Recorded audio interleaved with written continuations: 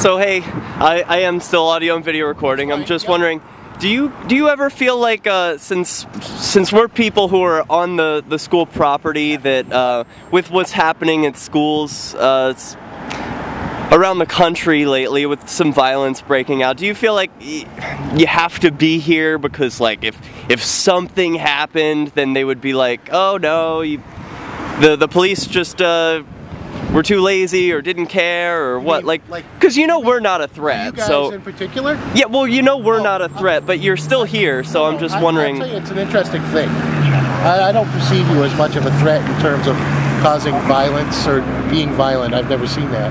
Right. I mean, even when you, I'm hesitant to say ran away, that little trot I saw you do, your little Scotty evil run down the street the other day. I'm just picking.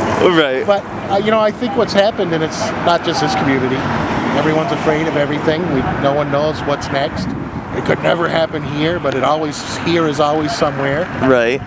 And I don't know if people are afraid that you're, or concerned that your tactics will incite some level of violence in response to you. And the other thing is, I give you guys credit, and maybe it's the PD.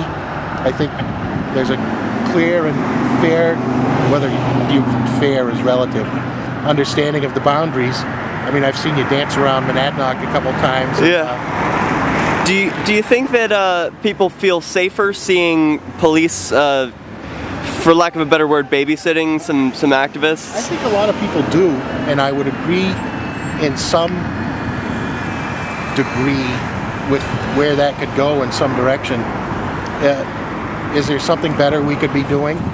Well, sure. Hard for me to say, because a fair amount of people are glad we're here. A fair amount probably think we ought to be out clicking the radar on and off. Oh, no, I don't want you doing I that. No, you don't. No one wants I that. saw. Uh, so, you know, it's a 50-50 thing. We'll we'll stand here and make sure that you guys are all set, and that everyone's all set with you guys. And Yeah. we'll go on to our next great adventure. Well, I hope uh, many great adventures you do have. They're pretty quiet.